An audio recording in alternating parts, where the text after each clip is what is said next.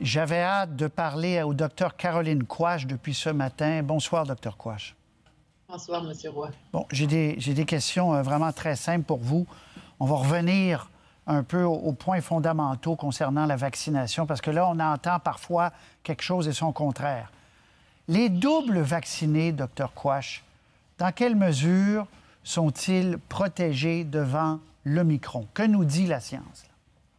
Alors, la science nous dit que contre le micron, ils sont peu protégés, surtout quand ils sont rendus à peu près six mois euh, post-deuxième dose.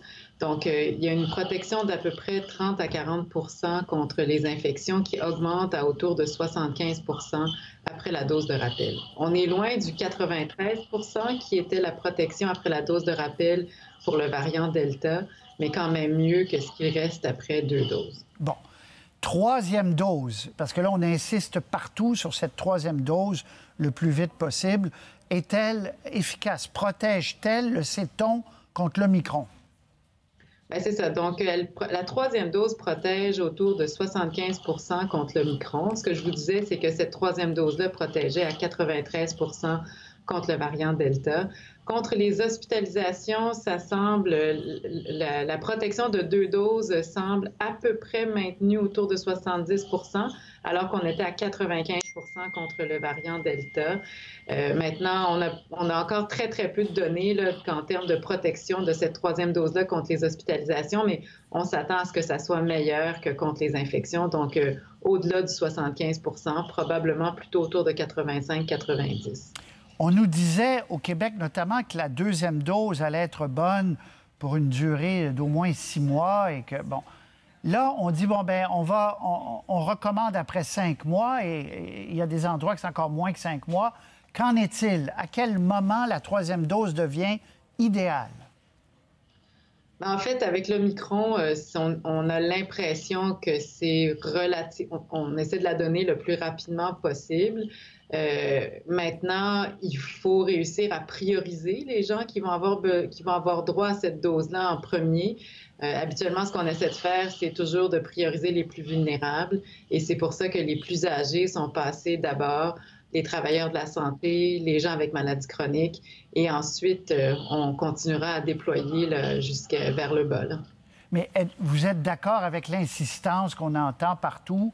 Bon, au Québec, on dit on ne peut pas aller plus vite parce qu'il manque d'employés, mais vous êtes d'accord avec donc cette affirmation que la troisième dose va vraiment nous protéger davantage contre le micron? La troisième dose va nous protéger davantage, mais je pense qu'il ne faut pas se mettre la tête dans le sable et on, ne peut pas on, ne peut pas ne pas penser aux mesures non pharmacologiques, donc de, distance physique qu'on avait mis en place euh, au départ. Euh, la, transmissibilité de ce virus-là euh, est tellement grande qu'on n'arrivera jamais à vacciner suffisamment de gens pour faire un mur face à ce virus-là. Donc, l'idée, c'est vraiment de limiter le plus possible le nombre de contacts à l'intérieur sans masque pour ralentir la transmission parce que euh, il semble, ce virus-là, se reproduire à une vitesse euh, extraordinaire dans le nez des gens et donc devient excessivement contagieux. Bon, ben, vous m'amenez à ma dernière question. Je vais la poser tout de suite, je reviendrai au voyage après.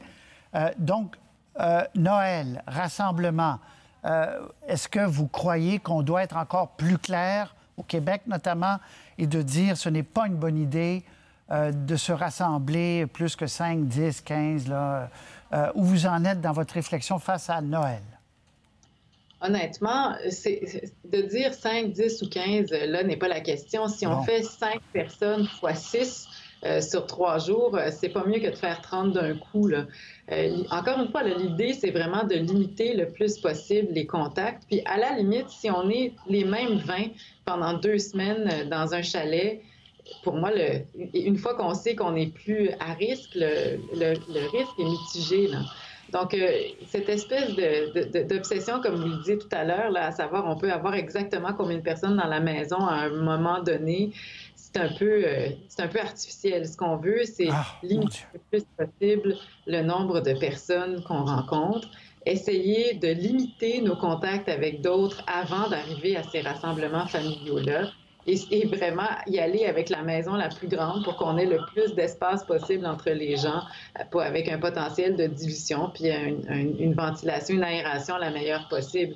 Mais ce qu'on veut, c'est être le moins possible à risque d'arriver à notre partie de Noël avec un Omicron dans le nez c'est de la musique à mes oreilles, ce que vous dites, docteur Quoi. Je vous dis, il faut arrêter l'obsession. Puis vraiment, je le dis, je me suis permis de le dire tout à l'heure avec Sébastien, l'obsession de 10, 12, 15.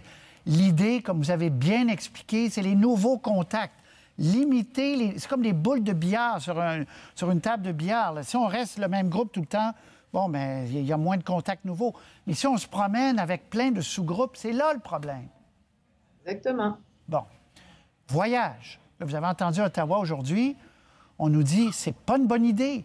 Vous allez être pris là-bas, vous ne pourrez peut-être pas revenir parce que si vous, êtes, si vous attrapez la COVID, euh, je ne sais pas, au Mexique, peu importe où, euh, vous ne pourrez pas, avec un test positif, reprendre l'avion pour revenir au Canada. Qu'est-ce que vous en pensez, les voyages?